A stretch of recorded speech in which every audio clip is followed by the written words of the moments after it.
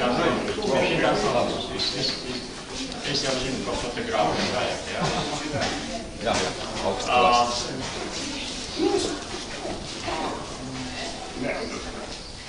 Tātad mākslinieks sveiciens visiem klātesošajiem.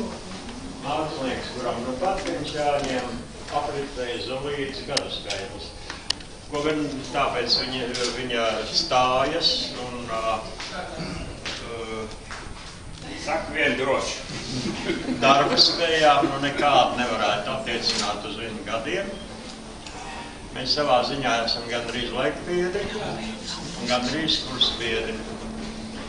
E, Dažādi likteņi mums ir bijuši tam ceļā uz mākslu, bet galvenā atšķirība, acīm redzot, mums ir tā, ka Jānis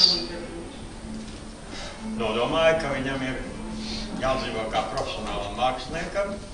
Nu, ko nozīmē profesionāls mākslinieks, kā savā laikā teica profesors uh, Zariņš. Profesionāls mākslinieks ir tas, kas pārtiek no savām gleznām. Nu, es nezinu, cik viņš no tām pārtiek, bet katrā ziņā dzīves viņš ir. Strādā viņš uh, nepaguris, un esot tādā mājā ar mezonīnu, nu, teiksim tā, aizputs pašā maliņā, klusā vietiņā, ja novāktu šīs sienas, man liekas, nekas nesabruktu, viss turētos uz glezna. Uh, Iejot iekšā, pārņem vienkārši seriāla sajūtas.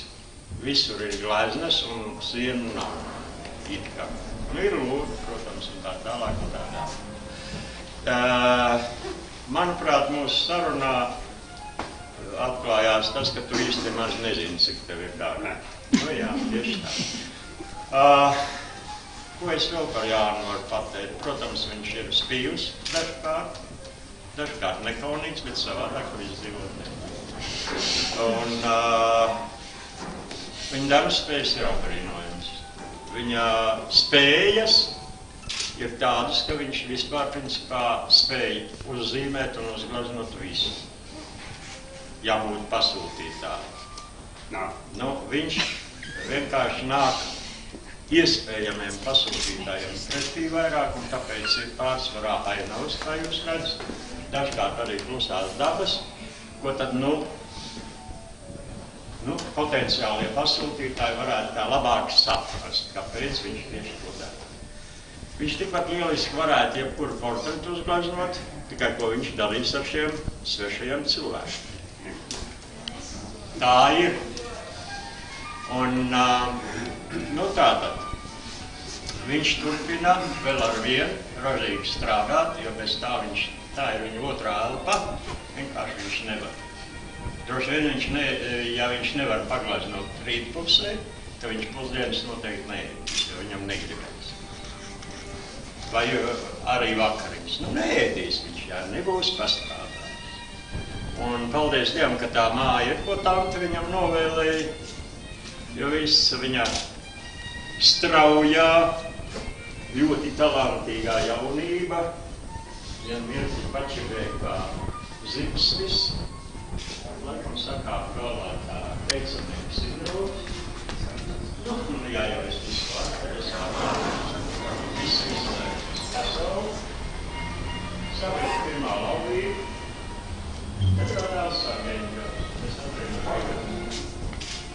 izvilka jaunu dzīvi.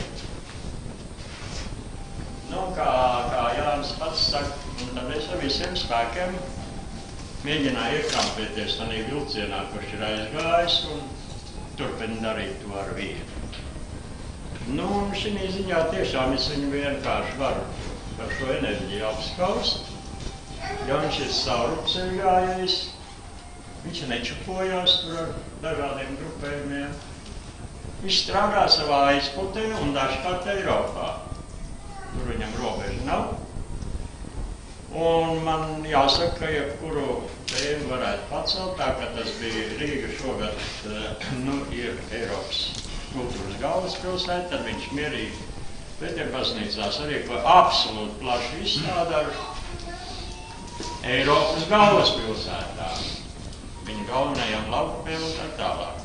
Tā kā, jā, diezgan droši pie Jāņa var griezties, jau vajag kādu tematisku izstādi, eh, nu, gan ne par visām tēmām, bet gan arī.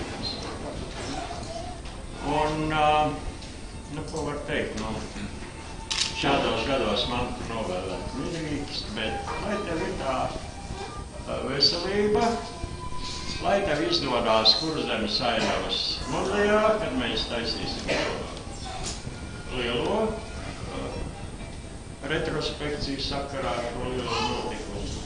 Un gan par retrospekciju īstenībā to grūti ir nosaukt. Arī šeit ir zināmā mērā neriņķis tā retrospekcija dažādos gados tapus.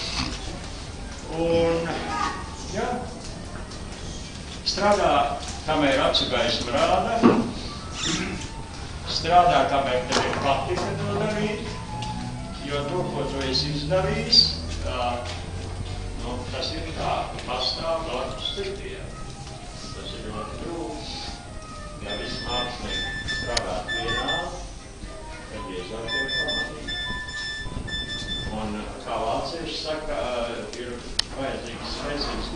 vajadzīgs klaišs, lai izstrādātu savu stilu. To tu esi izdarījis. Tā patērē 2 vatus un power faktori 0,29. Es domāju, ka vairāk patērēs. Tas ir tas kaut kas cits, ja tur ir. Tā. Ir 227,5 Hz. 0,04 amperes. Domāju, ka viņš patērēs vairāk, bet tas ir kosmos ļoti augsts. Īs- Īstenībā, te vajadzētu kondensatoru likt. Būtu kāds kosmos vismaz 0,1, vismaz 0,9, 0,8 kosmos, tad ir ļoti labi. Bet 0,3 ir baigs sūdīgi. Viņam ir kaut kāda induktīvā saite vienkārši, bet patērē maz.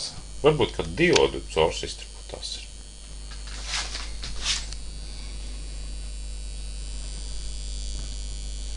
Un Vajadzētu atlodēt un redzēt.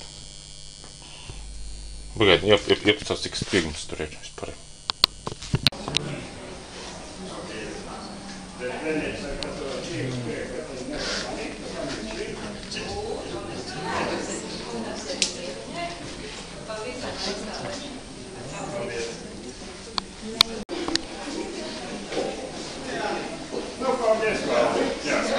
Jums tur ir kaut kāds beigās, vaļā.